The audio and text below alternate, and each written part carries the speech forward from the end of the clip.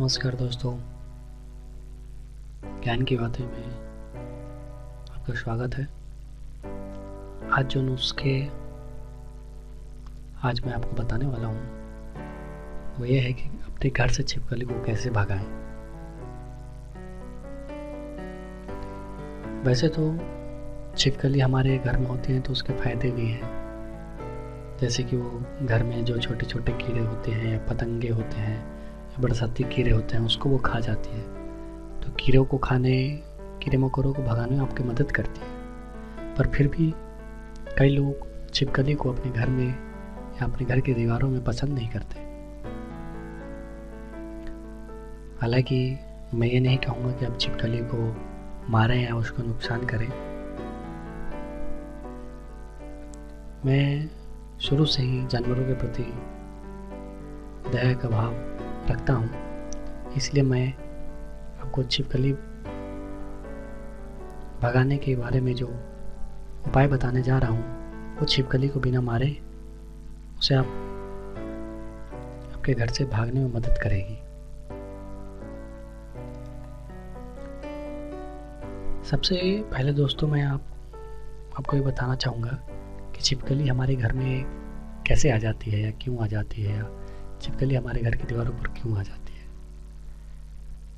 तो इसके कुछ बहुत सारे कारण हैं।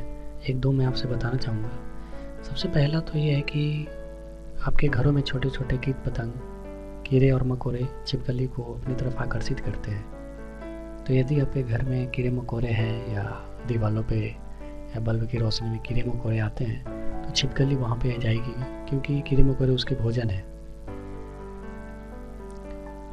दूसरा, घर में साफ़ सफ़ाई नहीं होने के कारण भी छिपकली को पनपने का कारण मिलता है।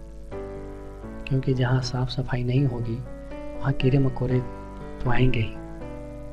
कोशिश करें कि घर के कोने कोने जैसे अलमीरा के पीछे, एसी के पीछे, कूलर के पीछे, दरवाजे के पीछे या अन्य जगहों पर जहाँ अंधेरा रहता हो, साफ़ सफ़ाई करते रहें। तो चलिए दोस्तों छिपकली से छुटकारा पाने का इलाज क्या है उपाय क्या है, तरीका क्या है, ये मैं आपको बताता हूँ। सबसे पहला है मोर के पंख। मोर के पंख आपने बाज़ार में बिकते हुए देखा ही होगा। तो जो मोर के पंख बिकते हैं, उसे आप खरीद कर घर पे ला सकते हैं। यह एक सबसे अच्छा तरीका है छिपकली को घर से भगाने का। पाँच से छः मोर के पंख को ले कर दीवार पर चिपका दें और छिपकली कुछ ही दिनों में गायब हो जाएगी। छिपकली में सहज प्रवृत्ति होती है कि कैसे अपने दुश्मनों, शिकारियों से बचना है। मोर छिपकली को खाते हैं। तो स्वाभाविक है, इसलिए छिपकली मोर के पंख को देखकर ही भाग जाएगी। अगर आपको मोर के पंख नहीं मिल रहे हैं तो कोई और पंछी का पंख को इस्तेमाल कर सकते हैं। हमारा मेन उद्देश्य है छिपकली को भगाना। हालाँकि मोर के पंख मिले तो ज़्यादा बेहतर हो। दूसरा, प्याज। प्याज भी एक अचूक दवा है। प्याज भी एक बहुत ही अच्छी दवा की तरह काम करता है छिपकली को भगाने में। आप बस प्याज को लेकर घर के दरवाजे या फिर जहाँ छिपकली अक्सर दिखाई देती हो, वहाँ पर टांग दें। प्याज के तीखे महक से छिपकली खुद ब खुद घर छोड़कर चली जाएगी। आपको कुछ करने की ज़रूरत ही नहीं है। तीसरा जो उपाय है, वो है फिनाइल की गोली। यह अक्सर हम सभी अपने कपड़ों के बीच में रखते हैं ताकि कीड़े नहीं लगे।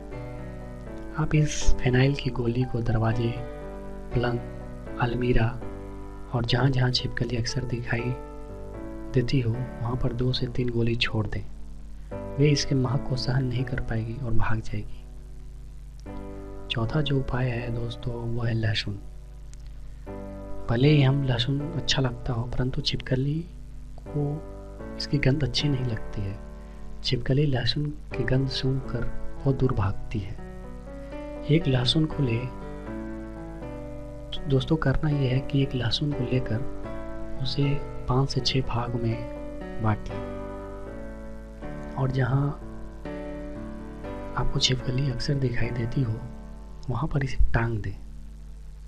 कुछ दिनों में आप देखेंगे दोस्तों कि छिपकली अपने आप ही भाग गई। आपको छिपकली दोबारा फिर दिखाई नहीं देगी उस स्थान पे। पांचवा जो टिप्स है वो है मिर्च स्प्रे मिर्च के घोल आपको बनाने होंगे। आपको लाल मिर्च की कुछ मिर्च खरीदने होंगे। जैसा कि आप जानते ही हैं, लाल मिर्च की गंध बहुत तीखी होती है और छिपकली को लाल मिर्च की तीखी गंध पसंद नहीं आती। छिपकली लाल मिर्च की गंध को सहन नहीं कर पाती। आप मिर्ची, लाल मिर्ची के स्प्रे को जहाँ जिस स्थान या जगह पर छिपकली दिखती हो, वहाँ पर इसे स्प्रे कर दें। दो से चार दिनों में वे रफू चक्कर हो जाएँगे। पर इसके लिए आपको डेली स्प्रे करना होगा जहाँ पे छिपकली आती है। अब छिप मिर्च स्प्रे बनाने का विधि भी मैं आपको बता ही देता हूँ। मिर्च स्प्रे बनाना कोई बहुत ही मुश्किल काम नहीं है। मिर्च स्प्रे के लिए एक बोतल में आधे गिलास पानी भरें। लाल मिर्च पाउडर लें और इसे अच्छे तरह से मिला लें। और ये आपका मिर्च स्प्रे तैयार है। जहाँ छिपकली जिस स्थान पे आती है, उसको वहाँ पे इसको स्प्रे करें। आप कुछ दिनों में देखेंगे कि उस स्थान पे छिपकली आना बंद कर दी। तो दोस्तों, आज मैंने आपको बताया छिपकली को घर से कैसे भगाएँ आसान तरीके में घरेलू नुस्खे या घरेलू सामग्री घरेलू चीज़ों को यूज़ करके।